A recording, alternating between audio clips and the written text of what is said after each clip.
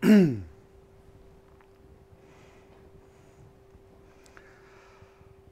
evening, good evening, good evening, good evening, good afternoon, or good morning, depending on where you live in this wonderful world. It looks to me like we have an audio problem. If there's anybody there, please tell me if there is. Because the sound does not seem to be coming out. And I don't know why. Good evening. Good evening, good evening. That's very kind of you if I'm your favourite. Oh, great. I'm glad you can hear me because for some reason the audio isn't working on my system and that's always scary. The levels are going up and down, but there we go. Hello, Julia. Hello, Jules Viggs and Alan. Excuse me. It's always a little bit unsettling when things go pear shaped straight away. So welcome to another PosiPix Live. I'll be giving feedback and coaching on some images from the November competition, which was themed animals, before announcing the winners of the three £50 runners-up and one £500 winner for both the student and experienced categories. PosiPix competitions are a collaboration between clickasnap.com and myself, Mike Browne who does photography courses. I do photography courses. Your entry fee for the competitions are helping us to support the Legacy of War Foundation to help people rebuild their lives following the traumas of war. You'll find links to all this good stuff in the description area below. I hope everyone has been well. I hope everyone's had a great week. I've been blown away by the incredible level of the entries. In a moment, I'll be giving some feedback and coaching for both of those. Um, and I look forward to doing that. Quick announcement before we get going. We're going to be taking a break next month. Uh, we're going to be looking at ways we can evolve PosiPix competitions moving forward. So please keep an eye on the PosiPix site, clickasnap.com. And if you've opted into the PosiPix newsletter, then we will of course be keeping you informed. So let's just have a little look, make sure all my screens are working and everything is in the right place. I think it is. I think we are probably good to go. So let me get myself set up, which I'm not, forgive me. And without further ado, we will start looking at some of our student level entries, which were absolutely amazing. I am completely astounded by what people come up with, you know, and the creativity which people put into these competitions.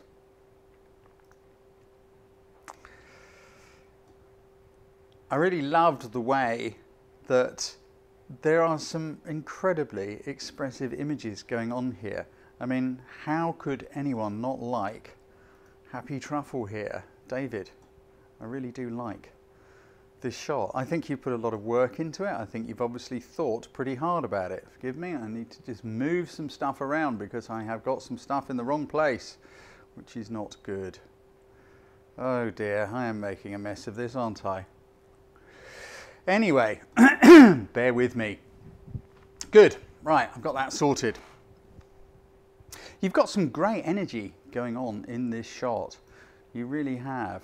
Um, you know, dogs bounding, happy blue skies. You've done a great job technically as well by managing to maintain a very shallow depth of field on a moving subject. That's not an easy thing to do.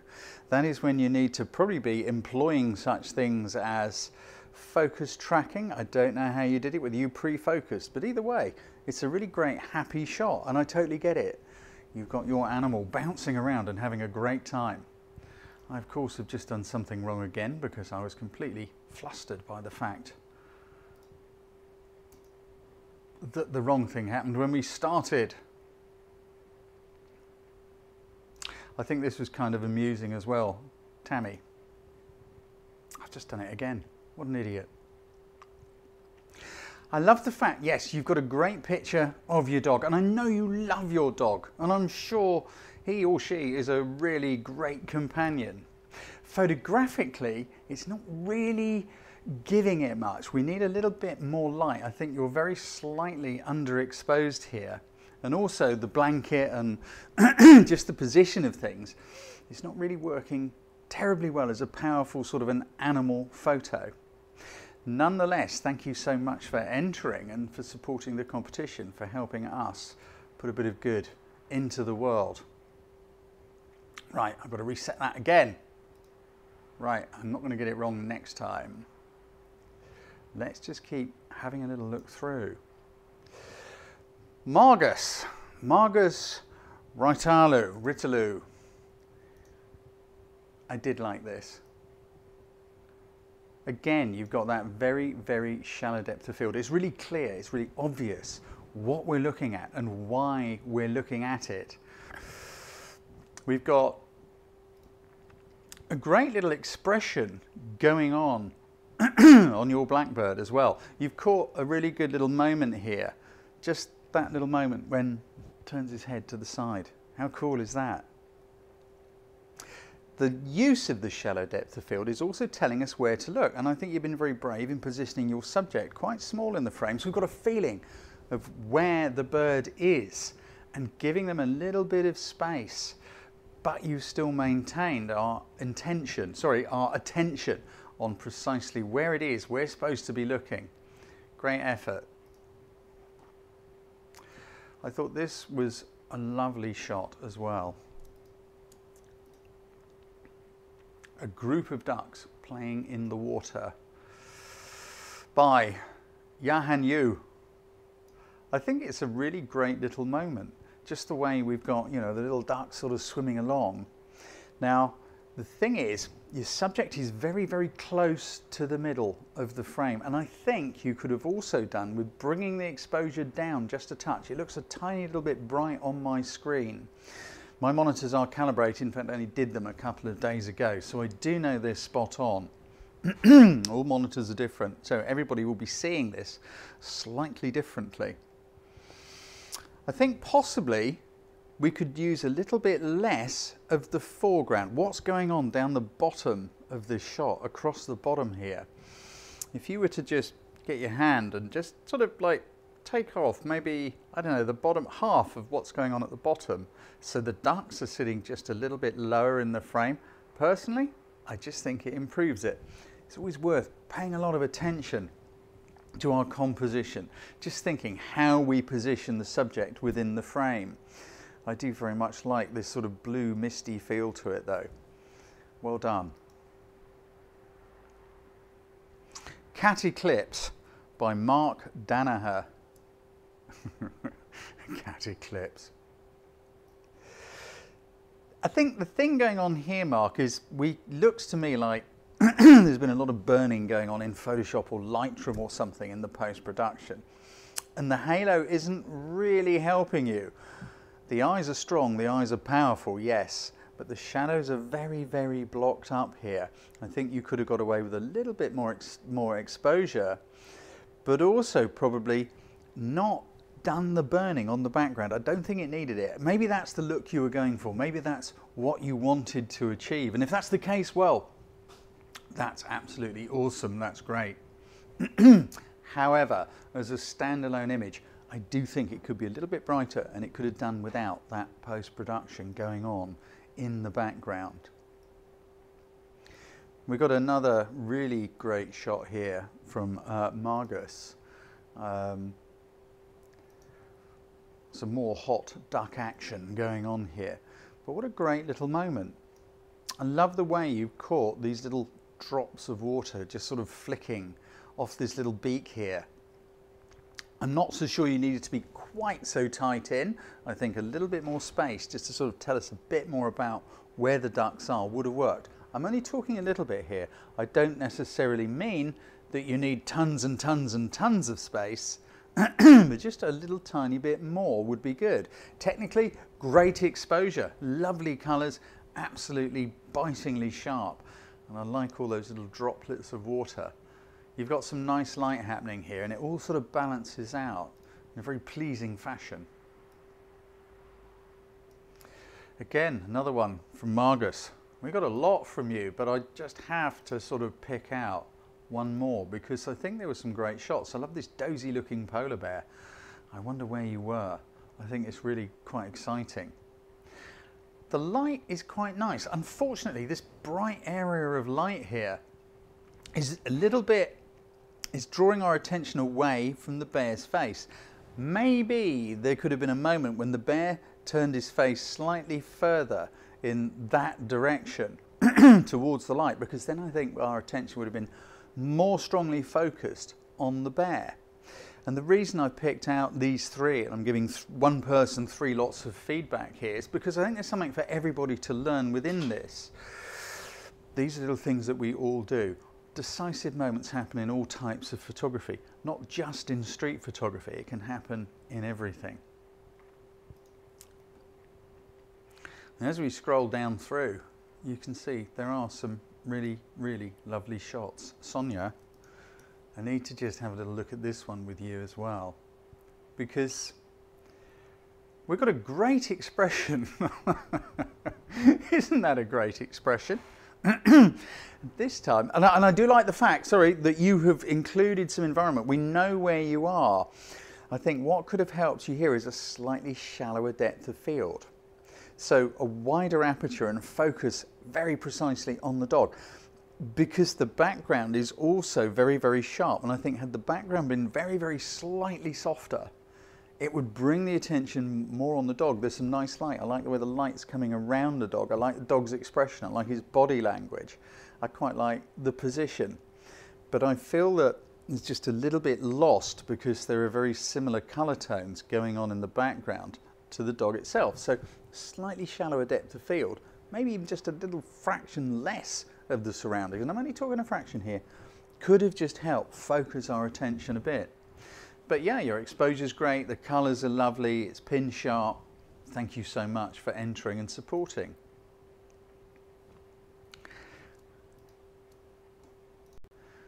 We've got another, I think this is a beautiful choice of black and white um, from Ella Andlovic. It's very atmospheric. It's very sort of, it's very moody. Now swans are difficult things to photograph because when the light hits their wings, the feathers burn out. The white can really, really go too far. And I think this is what has sort of happened here. Because the swan's face is so, so dark. We've got detail in the feathers, but it's at the expense of the swan's face. I love the black and white. I love the mist coming off the water. It is nice and sharp. I like the reflections in the water. Maybe, had you managed to just click the shutter a moment earlier when the swan's a little further back because the swan's just coming into shade and I think this is what is really darkening the swan's face. The moment you click is really, really important. I think that could have helped quite a lot. I'm also unsure that your tilt is actually helping. I don't know if you did this one on purpose, but I don't think the tilt is, is really doing you any favours because you framed the shot beautifully. I love this going on around the top, the little bits of foliage just sort of hanging in there, the way that also the reflections are sort of holding the whole thing together. Great effort.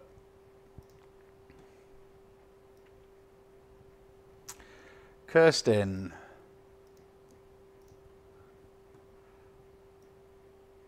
I think this is a very accomplished bit of photography actually. I do really like that shadow of the dragonfly reflecting through that very, very shallow water.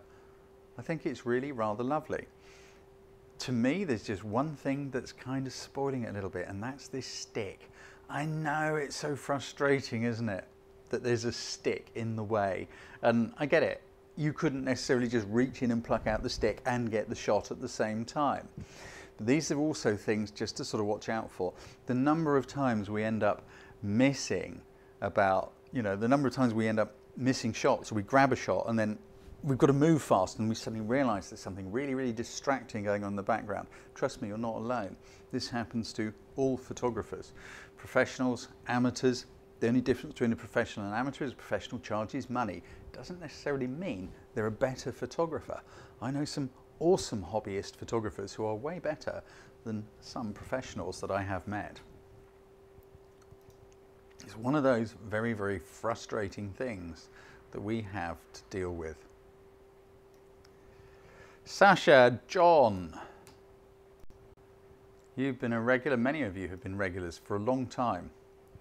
And I very much like the way you have managed to separate your heron out from the background because that is a noisy and distracting background. Those boats are very noisy and distracting. However you have managed to do it, you've also got some quite nice light. It's coming from slightly behind the bird, hence that little bit of light, that little sort of highlight just around the top of the head. It's not all coming from directly in front, it is very, very fractionally behind as well. It's an interesting shot, it's a good shot, but again, I just think there's a little bit too much going on in the background, but you have really worked hard to minimize it by using that shallow depth of field. And this is all we can do. We see something, we want to get a photograph of it, and then we've got to work with what we've got and maximize the opportunity. And I think you've done that very well here. Please bear in mind that my coaching and feedback here is intended to try and help everyone. And if I sound harsh, well, I'd be a bit of a useless coach if I didn't push you. Antoinette Suarez. I really like this. I think it's quite fascinating. Now, I'm not entirely sure. is this a composite or is this something you actually captured? If you're here, I'd love to know. I'm watching the comments on my other screen here. That's why I look away every so often. Um, I just love to know. Because if this is a, a, real life capture, I think it's really quite interesting. How did you capture that bird in that light with that smoke? Or is this a composite? Is this something you've made? Either way, it doesn't matter. It is a pretty powerful image. It's a pretty striking image. The light on the top of the, the wings sort of works very, very well with the rays of light that are coming down through. Um, the smoke, where's that coming from? It's quite intriguing. It is eye-catching and it makes you stop and look at it for a moment. And that is not an easy thing to do in the fast-moving Instagram world in which we live. We're bombarded with images continuously all the time. It's not easy to make someone stop and pause, but you did make me stop and pause, and probably others too. Thomas O'Neill, I liked your soaring shot here. I think I like the colours. Um, I'm guessing you've gone for a bit of a sepia look, uh, and it kind of works. Now I think your exposure is a little tiny bit too bright because it's so difficult when you have a white bird because we've got quite a lot of burnout here. Now I'm not against a bit of a burnt highlight. Um, in some cases they absolutely exist in the real world such as sparkles on the water, the filament in a bulb when you look at street lights and things like that. They do burn out. I am not part of the highlight police, but I think your exposure could possibly have come down just a little touch here. There's a great sort of feeling of freedom. My coaching to you would be, could you have composed slightly more to the left? Because the cloud is sort of balancing the bird, but we've got so much space empty on the right with nothing much going on. I think maybe if you could have positioned the bird more to the right and then maybe have a little bit more of the cloud in the left. So we've got bird and cloud. I think the two would sort of really create a great balance within the shot. But either way, it does work. And, and this sort of sepia tone color, yeah, I think it works well. It's engaging, it's interesting again, because it makes you look, is it a black and white? Is the sky really that color? Was, you know, what's going on here? I liked it. Let's just scroll down again a little bit further. Stella Fag. Very, very majestic expression going on here. Moonlit. Is this really a moonlit shot? I'd really love to know if you're here, Stella. Um, the light is very beautiful, truly beautiful. What more can I say? The expression is wistful. Uh, technically, perfectly done, perfect exposure. I'm really intrigued by this as to how you shot it. Um, I think it is a very engaging and interesting animal portrait. Mostly because you've got the catchlight in the eye, the positioning, everything. It just sort of came together very well indeed. Congratulations. Just need to move some things around. My screens are getting rather cluttered. I have so many things open whilst doing this. But hey, that's just the way it goes. Checking comments. That's what I was doing. Derek Lindsay. I like this, but it's just a tiny bit too busy. It's a really intriguing capture. And again, wildlife, animals, they're not easy things to photograph and to get them to stand out because wild animals, what do they do? They hide very, very well. They are so good at hiding and camouflaging. And I think what's going on here is the natural camouflage is really, really, you've got to look a little bit before you notice the deer, I think. Partly there's this bright area going on back here. I know, it's a total bummer, isn't it? Because you've got a great expression, you've obviously thought about your composition and how to shoot and shooting through the, the bracken. There are some lovely colours, but unfortunately, the subject of the shot is just a tiny bit lost. It's a great demonstration of how well animals can hide. They're little buggers, they really are.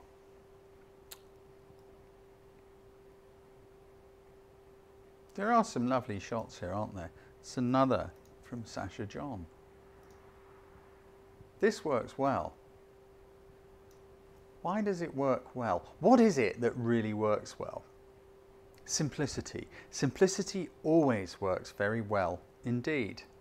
Also, we've got colours that are in love with each other. Ready oranges and green. They always work well together. It's a simple image. There aren't loads of different colours. There aren't loads of different shapes and stuff going on. We know exactly where to look. The light is really nice too. I love the way the light is just sort of caressing along our little cricket's back there. Great shot, really nice macro shot. It's also not easy to get as much of the bug sharp as you've managed to because when you get really, really close in with the lens of the camera, the depth of field shrinks to being absolutely minute, even at your smallest aperture. Depth of field isn't simply an aperture thing. It's a distance to subject thing. Aperture is merely the fine control of that. So you must have been using a very small aperture, I would imagine. Well captured.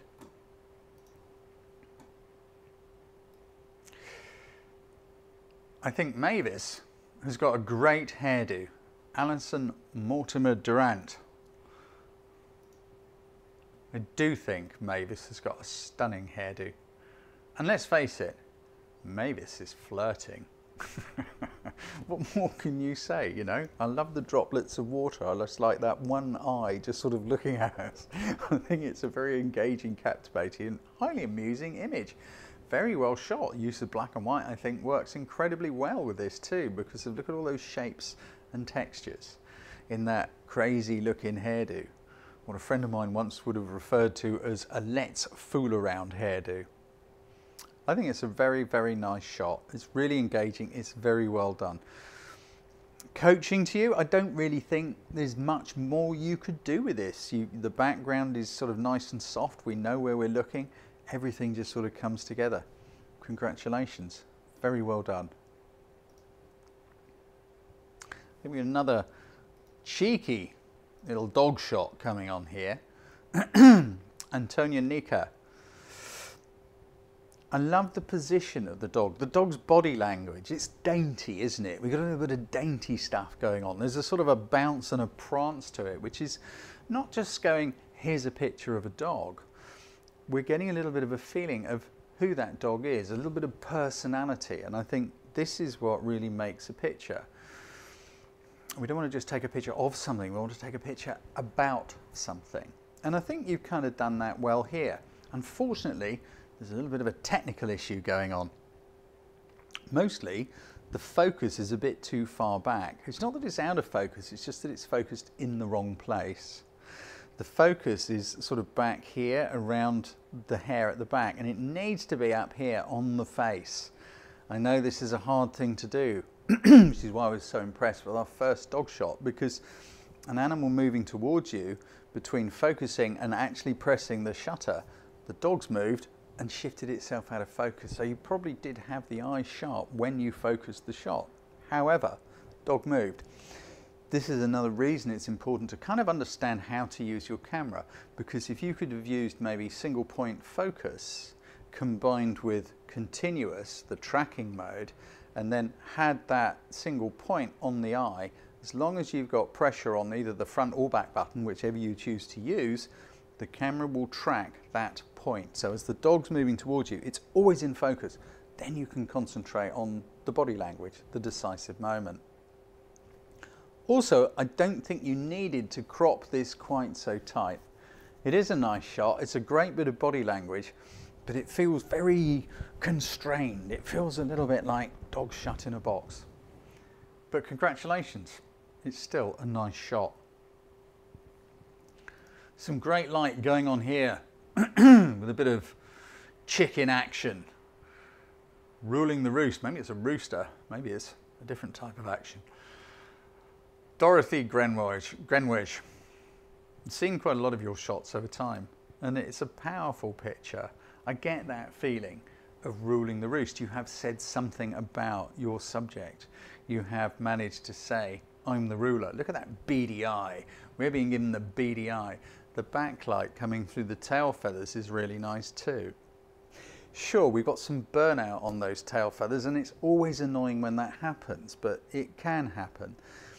But the thing is, the red is so strong, it's still overpowering the backlights, overpowering those white bits. So we're paying attention to where we should be looking. And that, of course, is our bird's face. it's a great shot.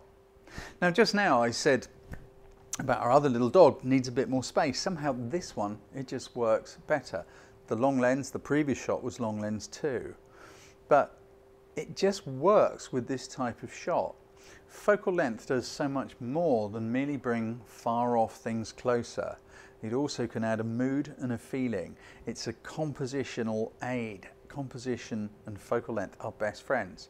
And in this case, in this shot, in saying something about this subject, I think the tighter crop actually works very well. This is the problem. There are no rights, there are no wrongs. There is only what you like as a few people have said to me, you know, how do I develop my own style? well, you don't. You photograph what you love. You photograph what you find engaging and interesting. That is your style. Some will like it, some won't. That's all there is to it. We've got a great bit of goat action here from Amy Drager. And I think this is a great shot. This is so goaty. I grew up on a farm. I kind of know how these little buggers behave. I like the way you have shot straight down the back of the shelter using the ripples of the tin. Again, shallow depth of field, slightly longer focal length. We know where we're looking. Also, of course, the goat is the strongest part of the picture because we always look at the brightest bit, the white bit, and that works incredibly well. It is a nice shot. I think in this case I'd have said give it a bit more space, but that's just me. It doesn't necessarily mean that I'm right. I think it's a great shot. I do like it. And I think there's something very cheeky going on here again, also from Amy. it just makes you smile, doesn't it? You know? The way you framed that up, the way you've just caught that moment and moved your body composition is not a camera function. It is an arms and legs and hands and feet function. It's a bending your knees. It's a moving left and right and twisting the camera around. Horse is backlit. so the light is sort of coming down and slightly towards the camera. With a little bit of a shadow going on down here on the railing. That's what's telling me that. But it's those eyes just sort of peeping through I think it's uh, great fun. You're saying a little bit of something about your subject. You're showing a little bit of the character. And that is not an easy thing to do by a long stretch.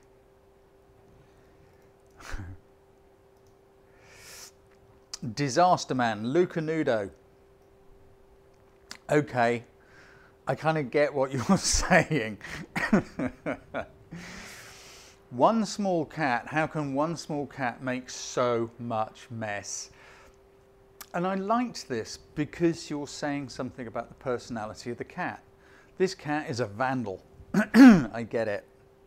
Unfortunately, as a photograph, excuse me, it isn't working that well because there's just a little bit too much. Now the mess sort of works, but it's things like the picture frame at the top, the corner of the chair, I think that's a high chair, and something hanging on the back. I don't know, maybe if you could have got down lower so your lens is really close to all this mess that's been ripped up and thrown all over the floor. The pink cushion, the comforter or whatever it is hanging off the side and the cat just sort of laying back going, mm, I did that. That's where your subject lives always be very careful to look all the way around the viewfinder. Check everything. I get it. This looks to me like it was taken on a phone. No problem with that. Phone is a camera. So what? Work with what you got. That's fine. But I just think there's a little bit too much distraction going on around the edges. Let's just scroll down through, look at one or two more because there are some lovely shots here. There's no question about it. Look at those green eyes on that cat. Isn't that lovely? I'm just going to choose one more and then we're going to go take a look at our experience level category. Whilst on the subjects of cats, Honor, owner, I'm not sure how I pronounce your name. I get it, the cat's being patient, but unfortunately our cat, the animal theme, is a little bit lost because the cat is completely dominated by all these bright areas in the back of the shot and also by the guy in the corner. It's unfortunate because I can tell from the body language of the cat what's going on, but it didn't quite work. How could you have improved it? I'm not entirely sure you could have done, working with what you had to work with in this case. It's always a tricky one. It's always a tricky one. But thank you for entering nonetheless. I thought there was something really interesting going on here. Xin Yang, the Monkey King.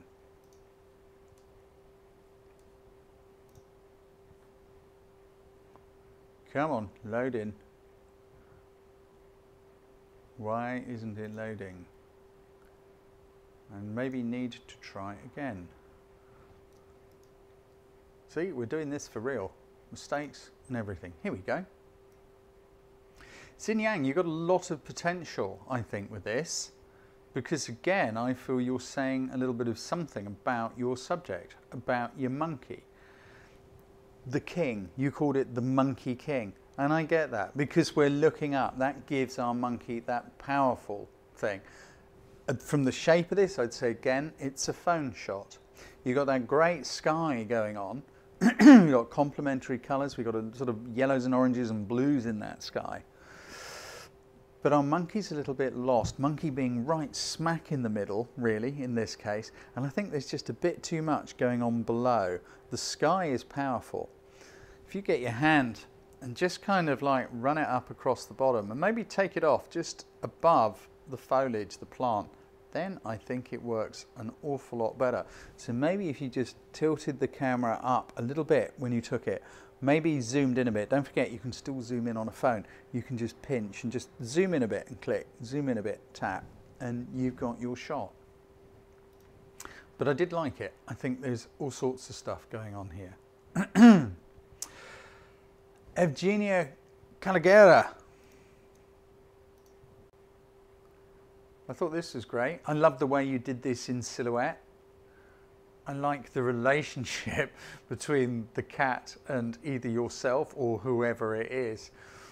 And I'm not sure whether whoever is holding the cat is going, ah, you bugger, because it's tugging its claws in because it's excited and it's having fun, or whether it's just like a happy moment. Either way, I think it's quite good fun putting that against a sunset and just sort of doing it all in silhouette. There is a relationship happening here and I think that's good fun. I like it. Let's just, I know I said I'm only going to do one more, but I just have to scroll through just a few more. I mean, look at that gorgeous squirrel by Sandy Frew. I wish I could talk more about all of them, but I can't.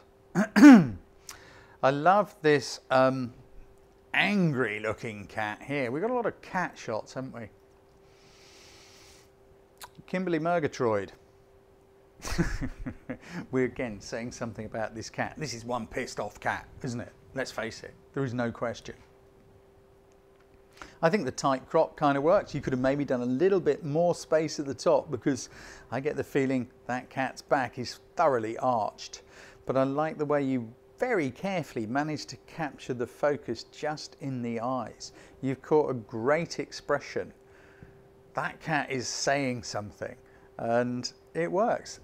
Thank you so much for entering and sharing it with us. Exposure's all good, everything's good. I like the color tones because it really brings out the mouth and the blue eyes because everything else is pretty much different tones and shades of, of much the same color.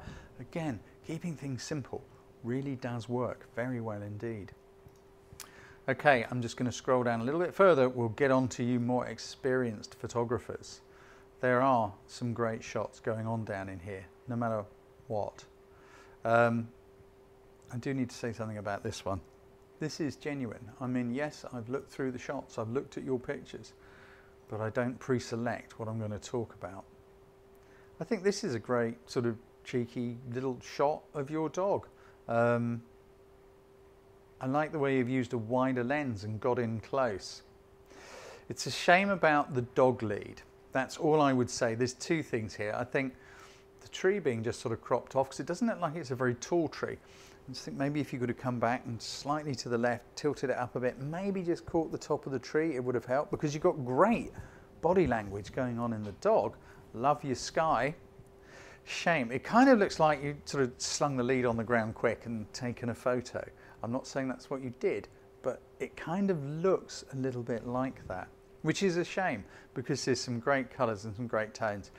It's also a shame there isn't a little catch light in the eyes, but to shoot against a sunset like that, I think it's light reflecting off the snow is about the only thing which is pulling it up.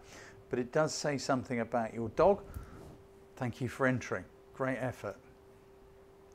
Okay, I am now going to move on. I love the cows. I do love the cows. Bees, look at all this good stuff. Look at it all.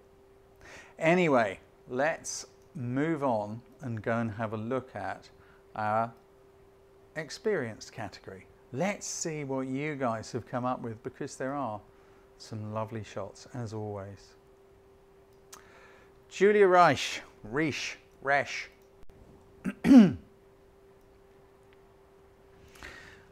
Great shot of a frog. I love the fact that it's a blue frog. I like your composition. I like the way you've sort of managed to frame our little blue froggy between two little bits of something coming diagonally across the edges, leaves, foliage, whatever it is. Unfortunately, our beautiful little blue frog, which you've got so gorgeously sharp, is being a little bit overshadowed for me by that red in the background, that bit of red foliage. It's just unfortunate. Frogs moved. Maybe frog moved as you were taking the shot. Maybe if it was against the green, I think it would have stand, stood out more. But there's some great lights backlit. You see those little ridges of highlight running across the body here. They're giving it a great shape and a great texture. Thank you so much for entering. I do think it's highly engaging. We've got some very nice rim light going on here, Diane Harper, with your pony picture. Unfortunately, I think the scene is just a little bit too contrasty. I love the rim light. I like the breath. The backlight is bringing out the breath. but that bright, bright, bright sun is kind of overpowering things just a little bit. Also, the fact that horse's bum is chopped off. It's not really helping that much, which is a shame. Um, but I like the way you've thought about this. You've thought about the backlight. You've thought about how could I do this? How could I make this work? Maybe if you'd moved to the right a little, you could have perhaps included more horse and possibly put the actual disc of the sun behind the tree. That might have worked. Maybe if you could have bent your knees, got down lower, because you see the shadow of the horse coming towards the camera, always like a shadow coming towards the camera. Maybe if you could have lined it up so that that bright sun was right behind the horse, so we didn't have quite so much of a strong bright thing in the sky. We may have got a little bit of sky detail and the horse would have been in the brightest area. And then if it's silhouetted fine. Okay, you wouldn't have got the rim light, I know. It's always a cost and a payoff and a trade-off. But good effort, I can see you really thought about it. And this isn't easy. I was out doing one of my photo ride videos the other day, trying to get some shots of some horses. And they were down in a valley and the light was coming behind, they were rim lit, it all worked beautifully. By the time you sort of got the camera out and changed the lens, blasted things have moved, haven't they? And then there's a bright sky in front of them. If you hang around my channel, you will probably see me doing that in a few weeks' time. I really like the duck taking off. Um, I like this little row of blackbirds. I think it's a nice idea. Great animal behaviour. Are they blackbirds or are they rooks or crows, Diane? I'm not sure. Looking at that beak, I'd say that's a crow. I like the way you've shot along as well, along those posts. I think that works very, very well indeed. I like the way we're just looking at one bird in particular. Something which is usually needed though with um, animal photos is to try and get a bit of eye shine. There's a tiny little bit there, but not much. I very much like the pastel shades too. What could you have done to improve upon it? I'm not entirely sure because you've got the gap in which you've got to shoot into in order to get the bird you focused on sharp. However, I can't help but feel if you were the other side of the fence, the same side as their faces, it might have worked a bit better. I don't know. It's a hard call. but nonetheless, it is a great effort and I can see how hard you've thought about it. Right, there's loads of cat shots here. You guys love your cats and it would be really interesting to talk more about them because there are, but we can't do too many cat shots, can we? I like this one, Alan. I think it's a very engaging and interesting photograph. I like the relationship. I like the expression on the woman's face as she's looking at this. I'm afraid I'm not good with birds and animals. I'm not sure entirely what sort of bird it is. Bird of prey, obviously. Somebody tell me, please, in the comments. Is it an eagle? Is it an osprey? Is it a... Hmm. The backlight is working well. Look how it is separating out from the feathers. I like your composition, the way you've just sort of held it together very beautifully. The softness of the background, the backlight, the expression, it's all just sort of coming together well. You've caught a great moment as well, just as the wings are outstretched. I don't know if it's a balancing moment or a landing moment. Either way, it's a very nice shot. Formation puffins. What's not to like? I think that must have taken a little bit of capturing, Kim. Kim Skirton. and it is a great moment. Again, it's nice and simple. We've got really, really clear subjects. I love the fish in the beaks, the position of the wings, all of it. It's a slight shame, and boy, am I being picky here. I hope I'm helping you. I'm not just sort of sounding like I'm pulling you to pieces. That little overlap between them. But to capture a puffin in flight and get just the puffin sharp, I think that is quite a thing to do. Um, maybe shooting on burst mode could help. I don't know if you did shoot in burst mode, but allowing them to fly through the frame depending on what sort of camera you've got, if you have a mirrorless camera or something like that, you're shooting 11 frames a second or more in which case you can then just sort of and just choose the precise moment when we're in the right place because to do it in one click, boy, that's difficult. Stuart Anthony says he thinks it might be a Harris Hawk. Thanks, Stuart. Nonetheless, it's an engaging photograph. Um, I wish it was one of mine. I think it's great. We've got a little bit of naughty dog going on here too, haven't we? Nicholas Smith, someone's in trouble. Hmm. Let's hope it's not you or me. Again, you've done a great job of telling a little story about the dog, you know? It's an amusing, humorous sort of an image. Uh, the light's really rather nice. The expression's great, the body language, the way the head's cocked on one side. I can't help wondering, did you make a noise to try and attract the dog's attention? When I was trying to photograph the horses the other day, I was making clicking noises, horse noises, I was making whooping noises, I was doing all sorts of silly things, trying to get the blasted things to stop eating grass, look up and start posing, get their ears forward. and I find it often works with a dog. You make a cat noise, or that wasn't a cat noise, it was a dog noise. Make a cat noise, you know, and just sort of little whimpery dog noises. It will often make them turn around and go alert, and you have that little moment. Great shot. Nicely done.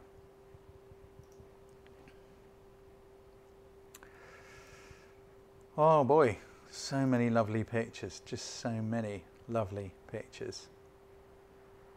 I love your snow goose, Crystal Bartholomew. You've been entering competitions and our feedback groups for a long time. It's beautifully framed, really nicely put together. Again, some great light. the only reason I'm going to give you a little bit of a critique is to me, it looks to me like that goose isn't quite sharp. And that's a shame because you've caught some great body language and some great colours. What's not to like? But somehow it doesn't look quite sharp. And I've seen quite a lot of your stuff. Very, very nice indeed. Thank you anyway for entering and joining in with us. I think there's a lovely little thing here also, Crystal. It's just it's a different take on it, which is why I want to shout it out. We've got a relationship, haven't we? It's about animals, but this is going beyond just an animal. This is now going into a relationship with an animal. You can just feel the love, can't you?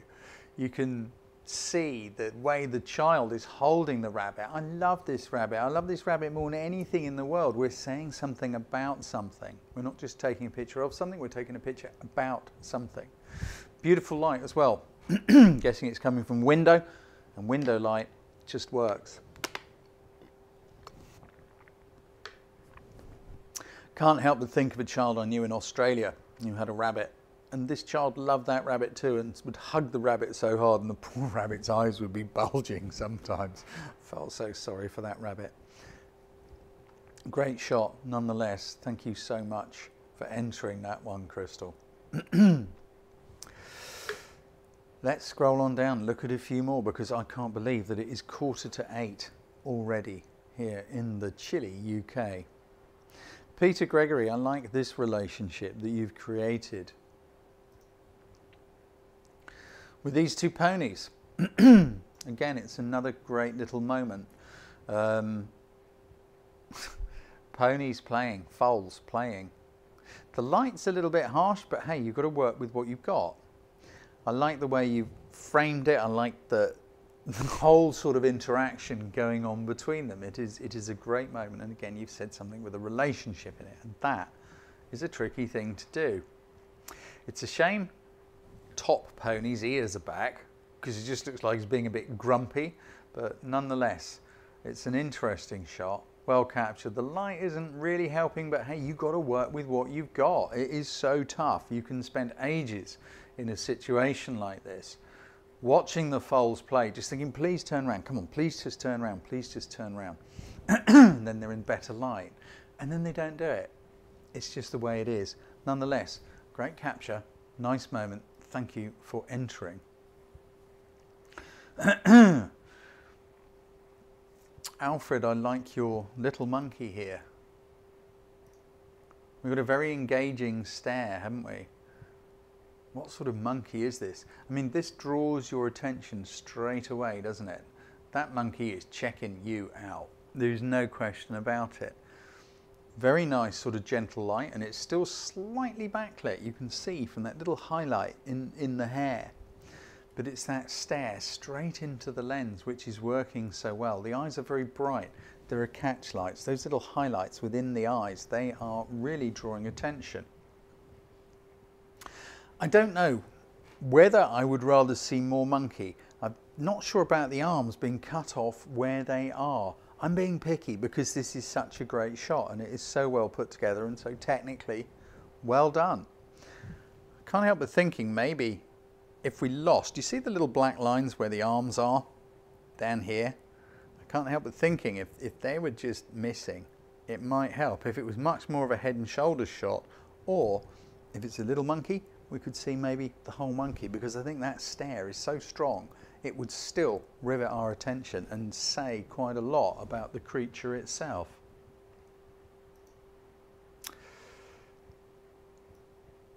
Scrolling on down, we've got a lot of monkey action here too. Janine Ray, this says a lot too. What does it say to you? I don't know about you guys, but I know what it says to me. I like the light. I like the way the dog is looking off out into the distance. Look at that light. It's evening, isn't it? That golden sort of light. The way the dog's looking out the window. I love the way you've included just those little bits of window pane, actually. I think it works. Because that dog is thinking, I don't know if I want to go for a walk. Why won't you take, I want to be out there. I want to be playing. I want to be doing stuff. I don't want to be stuck in here. That's the feeling that I'm getting from this shot. And I think it takes a little bit of doing to capture it. I quite like the way you framed the shot. I like the way you've sort of cut, you know, just the side of the dog's face off. I don't think we need to see all the face, back of the dog's head. I still think it's a great shot. I think it's beautifully done, but the light is gorgeous. It's the light which works. We go straight to the ear and then down the muzzle and then out the window. It's a little journey. So difficult to get these things absolutely right. If it was the muzzle that was in focus, would it work as well? I have no idea. You'd have to have them side by side. Either way, it's a really nice shot. Thank you so much for entering. More monkey action going on here. Your lonely friend, Mark Nunez. to me, it's an interesting shot, but the colours just look a little bit overdone, I'm afraid. I'm not sure about your bright sky either. I know it's difficult. Monkeys in the shade, sky's really bright. These are all the things as photographers that we have to fight against. We have to fight with. We have to work with. We have to find ways around them because you've got this lovely line. For me, and this is just for me, the colours are a little bit too much. Now, as I've said earlier, do what you like because that's your style. Some people will like it, some people don't. Personally, I find that light, that sorry, colour a little bit too much, but that's just me. Other people, please, in the comments, if you like the very colourful bit, please just say so. You know, let's give, um, let's give, sorry, Mark, some support here because it is a nice moment and I like the way you framed it. 10 to 8, how can that have happened? So many lovely shots that we could discuss. I think this is nice because it's just a little bit different. Jan Eric Winter. Again, it's really, really simple. We know exactly what we're looking at from the position of your spider. The light's really nice, it's kind of soft. We've got the dark spider in the brighter area of the shot, which is really helping emphasize what we're looking at the fact there's all these little nooks and crannies where spider lives, I think is quite interesting. I like the way you framed it, so there's something in each corner which is also herding us towards the subject. And again, very, very simple colours. Most of that shot is made up of the same tones. We've got blacks and oranges, and that is pretty much it. I think it's a really intriguing shot. I think it's very well delivered. Thank you so much, Jan Eric. Scrolling on down through, there are just so many, aren't there? I mean, judging a competition is never an easy thing to do. Joanne Loro, you've entered a few of our competitions because I've seen your name before. But isn't this a great little moment? We've got these patterns and textures and shapes going on, which are superb. And then, remember we were talking about, you look at the brightest part of the picture. In this case, the brightest part of the picture is the face. And I love the way that face is kind of framed by the bodies and the flippers, the dozing seal. I do think it's a really great shot. The light's nice, it's technically spot on, it's lovely and sharp. And we've got this peaceful feeling, haven't we? Again, it's not just a picture of, of something, it's a picture about something. It's about a dozing seal. You're going to tell me it's not a seal in a minute, aren't you? Because I'm hopeless with these things. Joanne, I think it's a really lovely shot. I'm sorry it hasn't gone any further. um, we've got a tortoise, which is not quite the right way up. Now, I'm guessing that's an image rotation thing. Um, I'm not going to enlarge it, but I just need to mention it, uh, Gilly Gales, because I just think it could do with being the right way up. It's just one of those things to think about. I get it. It's one of those technically annoying things, isn't it? Let's scroll on. Well, look, let's just have a look at Irene. Sorry, I've met Irene on many occasions. That isn't actually Irene. It's not a selfie. But it's a great moment, Irene. I really do think it's a great moment. Little Joey just sort of poking out and really paying attention to you. I think it's uh, a very well captured moment, very much so. Shame the tail's just a little bit caught off. but hey, I'm being harsh on you because I know you take some really great shots. But the key here is that it's a great moment. Capturing the Joey, just sort of really like, what are you looking at? You know? Nicely done. Thank you for entering, Irene. Look at it all. There's just so many great shots. Darren Page, I do like your sheep. Isn't that just a wonderful sheepy shot? It's just engaging. Now, all those elements have come together and they've worked.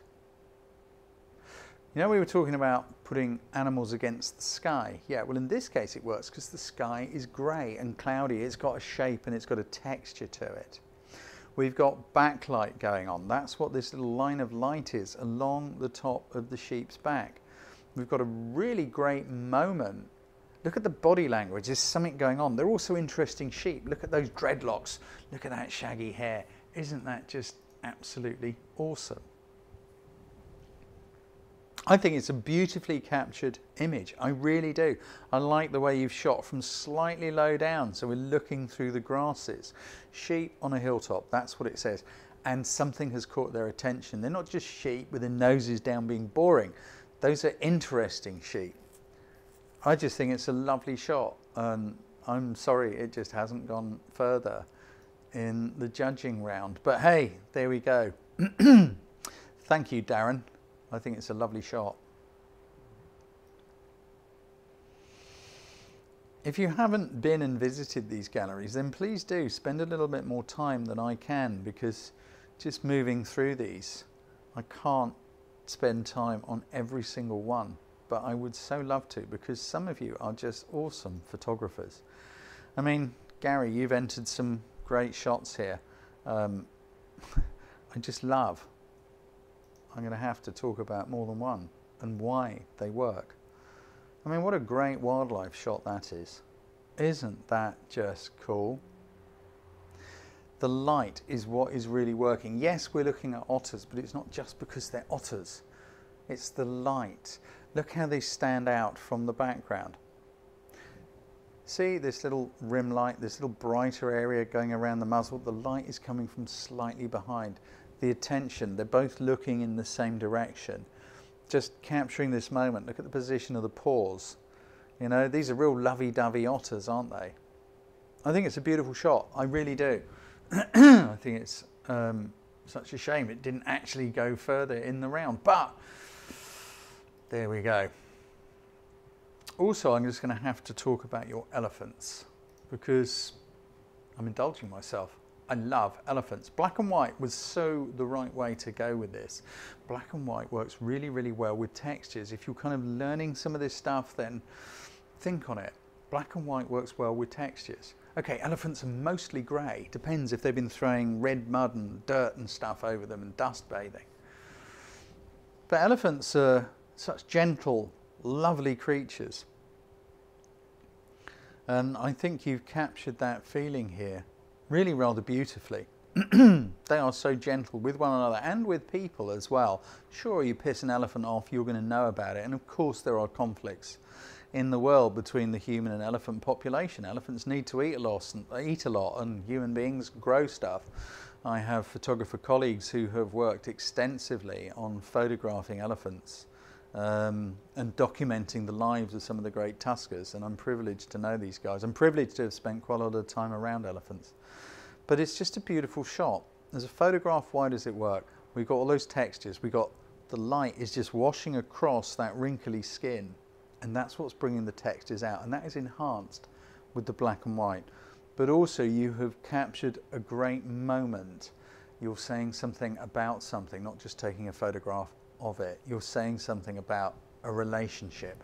That is what is engaging in photography. In my mind, I could be wrong. Mr. Ernest. I think this is kind of intriguing um,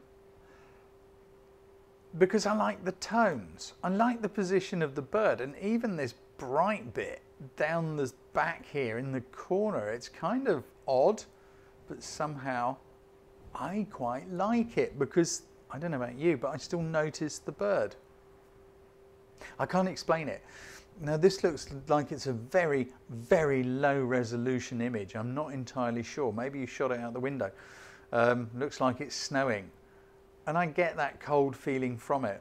I don't know if you put a filter on there, possibly. To me it looks like it was taken with a phone, possibly an older phone, I'm not sure. But I do quite like it and I like the position of the bird down in the corner. I think that's quite good fun. Let's just skip on down through a few more because we are approaching, we are within our hour, but you know, Janan Ray. you see how important moments are. I pick out a lot of pictures with moments, and I think this is a great moment. Look at, look at the look in the eye, the chew, the sort of, I don't know whether we're being arced at or, or what it is, and I'm not sure if this is an alpaca or a llama. Again, I'm not a total expert on that. I love the position of the face. I like the expression a lot. And again, working with animals is so hard. It really is. Never work with children or animals, and it's true. the fact that you've managed to capture this between those fence posts, or telegraph posts, or whatever they are, is really great because I'm not sure it would work so well if one was growing out of its head. Not easy. I can imagine you dancing and moving around trying to do it. It's a great moment captured. Thank you again for entering. Let's have a little look just down a bit further and just see what else there is because there are so many. Please, please, please come and join in. Janan, thank you for entering so many images. There are some beautiful ones here. Um, there's some gorgeous light here. Jane Kilbride.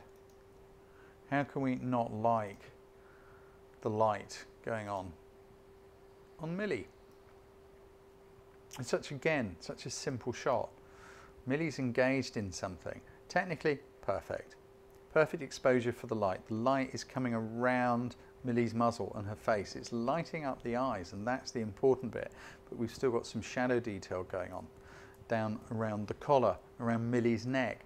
It's a very, very accomplished animal portrait. I think it, it's very well done. It isn't easy to capture these things all in one go, to capture the moment, the expression, the light, all of it.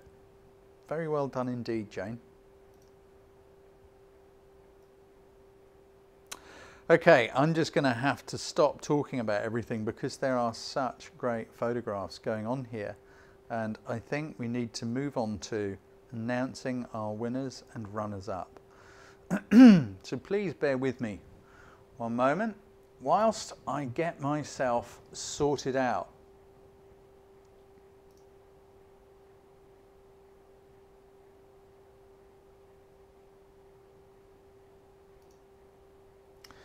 Something's not working terribly well here. I can see what it is. Forgive me. So, our student, runners up in our animal themed PosiPix competition. This time the judging was slightly different because we tried something new. It's always worth trying things. You don't know if it'll work. So this was done partly on voting, partly on judging, and I am still very, very impressed with these images. And I think this one from Conrad um, is a great shot. I really do. Conrad Clawon. Clawon? Clavon? I'm sorry, I don't know how to pronounce your name. But you know, it's beautifully done.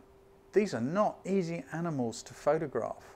And I very much like the way we've got this softness around the hair. I believe that's a hare. Again, I am not an expert on animals, am I? I am a bit hopeless for a country boy. But it's a very engaging shot. It has a great feeling of nature. Even though there's lots of interruption going on between the viewer and the hare, it just works. I like the way you've been brave and positioned the hare right in the middle of the frame because everything that's going on around the hare is working to draw attention to it. And part of that is because of the body language. That hare is alert, looks to be aware of you, and I'm going to guess you only had a fraction of a moment to be able to capture that shot. Not easy. Someone who did a one-on-one day with me years and years and years ago wanted to photograph hares and it took him months of going up to where they lived, getting them used to him and slowly sneaking closer and figuring out the right angle. I think it's a very, very accomplished and well shot photograph. Congratulations, Conrad. You are the first of our 50 pound runners up. Our next winner, runner up, sorry, in the student category Here's another sheepy shot. Julia Wong. I just, there's something about this which I think is, is great. I like the expression of the sheep. They look so dopey, even though they're alert and paying attention to something. It's another great moment. You're saying something about something, not merely taking a picture of it. There's work gone in. Look, we're shooting at sheep's eye level. That means getting down low. We see a sheep from above and you've kind of got in close. You're using, I don't know, it's not a wide angle lens, but it's not a long lens either. It's giving a very natural sort of perspective and look, and something is capturing the sheep's attention. I like the background too, the trees. It's telling us a little bit about where these sheep are and what they're doing. Um, yeah, I, I like it a lot. I think it's a very, very accomplished photograph. Congratulations. Our next runner-up is Cindy Van Vuren. I've been intrigued where you shot this, but it is a really beautiful picture of a leopard. If you're, you guys as students, you should be really, really proud of yourselves. And I'm taking you, of course, on trust. You know, you, you know where you are on your journeys, but these are very accomplished images. We've talked about light. Look at the backlight. the leopard's face is rimlet, that little halo going on is absolutely great. The background is quite bright, but it's not too bright. The way you've used a shallow depth of field to really bring our attention onto the leopard. I like the tree. You've sort of anchored the shot with a bit of tree trunk, a piece of wood on the right of the frame, and then the tree branches and foliage on the left. I think it's a really great shot. I love it. And so our winner of the student category. Uh, the winner of our top prize is, oh, I'm doing that TV thing, aren't I? Is Mark Danaher. what a great shot. I'm just intrigued by how you even managed to shoot it. I think black and white is a great way of doing it. The railway tracks take us on this journey through the shot, the fox trotting along one of them, I just think is, is really interesting. It's this sort of, you know, nature versus mankind thing and, and, you know, seeing a fox run along a railway track. I've certainly never seen it. I don't know if you have. But I do think it is a very engaging and well accomplished image. Black and white is a great way to go. I like the way you positioned your subject within the frame. Square seems to work very, very well for this too. Um, the light's great. Again, it's coming from behind. How many times have we looked at an image tonight and just said the light is coming from behind? Backlight, it works well. Light is everything. So congratulations to everyone, all of our winners in this competition. I think you've done incredibly well. Our £50 winners and of course our £500 top prize winner. So now let's go take a look at our experienced category and see what we've got going on in there.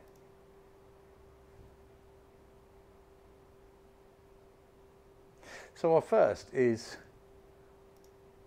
Glenn Welch with a very atmospheric bit of otter action. the light is really quite fascinating. I'm really intrigued by this. I don't know if you're here, um, Glenn. I would love to know where that light is coming from. Not that it matters where it's coming from, it's there. The mistiness is atmospheric. The way that the otter is just sort of standing in that water and sort of is looking enwrapped by something those little plants and things. There's something very magical and sort of fairy tale about this shot, and I think it is really beautifully done. If you're here, Glenn, please, please, please tell us. I'd love to know where that shaft of light is coming from.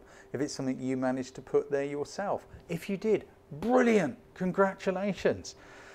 I think it is a smashing shot. Congratulations on being one of our runners up. Our next runner-up in our experienced category is Jennifer Tate. I think this is a very strong shape. It's a very powerful shape. It's, it's sort of eye-catching because it's dramatic. I think that very strong side-on thing is working very well. I like the way you've positioned the bird, the way it's coming right out of the corner of the frame. Having the black behind the white works well. Technically it's spot on. Very tricky exposure. We've already discussed swans and how it's so easy to totally burn out the feathers. And the light is coming slightly behind and slightly above and, and that brighter edge is just holding it together but it is so strong because the background is slightly darker, longer lens, shallow depth of field, but it's something about the power, the position of the bird within the frame, within the space. It's a very graphic side-on shot and it's powerful. I think it's great. I really do. I, I love it. Well done. Congratulations, Jennifer. It really is a great shot. Our next runner-up in the experience category is someone we've seen before, in all honesty, but you are a very accomplished photographer. There is no question about it. Eric Deverne. What an amazing, what an amazing magical moment to capture that. Look at the bee laden with pollen. Look at the way this bird, forgive me, somebody please tell me what sort of bird that is. I'm, I'm hopeless with animals, aren't I? But I just think it is such a magical moment. It's so powerful. Birdie's thinking, do I eat it? Do I want to eat it or will it sting me? There's, there's a relationship, there's an interest going on. And I just think it is beautifully well done. Congratulations, Eric. You are very good at this. And, you know, guys, look at photographers who are very good at it and think, how did they do that? Don't just look at the picture and go, okay, it's a picture of a bird and a bee. I'm going to take a picture of a bird and a bee and it'll be like that. It won't. Look at the light. Look at the, the focal length has been, that's been used is long. The aperture is very wide. The shallow depth of field, it's been shot from quite close too. Because if you remember, we we're talking about aperture isn't the only thing that controls depth of field, it's distance to subject. So Eric is quite close to this subject, or at least the camera is. Maybe Eric has thought up a way to have the camera fairly close and have something there and remotely operate it. There are so many ways to reach the same destination. The thing is, it's all about us, the photographer. We are the ones that create the picture, not the camera. Never forget that. Eric, I think it's a really accomplished shot. I really do. That's a BBC wildlife shot if ever I saw one. I think it's great. And wildlife, animals, not an easy thing to do. And so, our final, our winner in the uh, PosiPix Animal Challenge, our final £500 winner, is Davy Dixon. I just think it's a wonderful shape and it's different and there's body language in it and it is so carefully composed and put together. This peacock sort of wandering off a bird's arse, as somebody in the office here said to me the other day. But it is such a great one. Look at those beautiful shapes those beautiful natural shapes. We don't have to see the bird's face to understand what it is and what's going on. The colours are so subtle and gentle, technically spot on, absolutely pin sharp. Why this? Well, it draws attention immediately. It's like, whoa, what is that? Oh my word, look at that. Isn't that great? this peacock strutting away. Look at the position of the feet. Again, decisive moments are important. I don't know if you're here with us, uh, Davey. If you are, then I'd love to know were you shooting in burst mode or was it one of those things you just caught that moment? Because I think if both feet were on the ground, it wouldn't have energy. That one raised foot, the bird is walking off. It's just kind of, you know, they kind of slink off. They kind of strut, don't they? They're kind of like cool. and that's what's going on here. But it is so beautifully composed. Look at the gaps, look at the space, the way it's been used. Everything is perfectly positioned within the space of the frame. I think it is a very, very beautiful shot. I think there have been many absolutely stunning images going on in this competition. Um, and I just want to say thank you all so much for entering. Thank you for supporting Posy PosiPix and thank you for helping us to support the legacy of War Foundation. They do some very, very good work. There is a link, there are links to all this good stuff in the description area below. If you want to find out more about photography, have a look. There's a link to my site and some training you can do. Links to Clickasnap where you can upload images. Go and check out Clickasnap, cool place. and of course the Legacy of War Foundation. As I said, we're going to be taking a December break, a Christmas holiday regroup, consider some new ways of doing things. So keep an eye on the PosiPix website, keep an eye on Clickasnap, keep an eye on my website, and if you're on the newsletter, we will of course keep you informed as to what's going on. Congratulations everybody. Thank you for entering.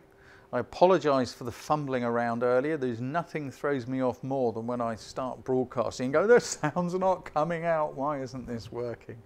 Anyway, Thank you so much for supporting me and being so helpful. You're a lovely group of people. I look forward to seeing you again soon. Be well, take care, have a fabulous Christmas. If you don't do Christmas, just have a fabulous time. Watch all the crazy Christians doing their stuff. Be well, take care.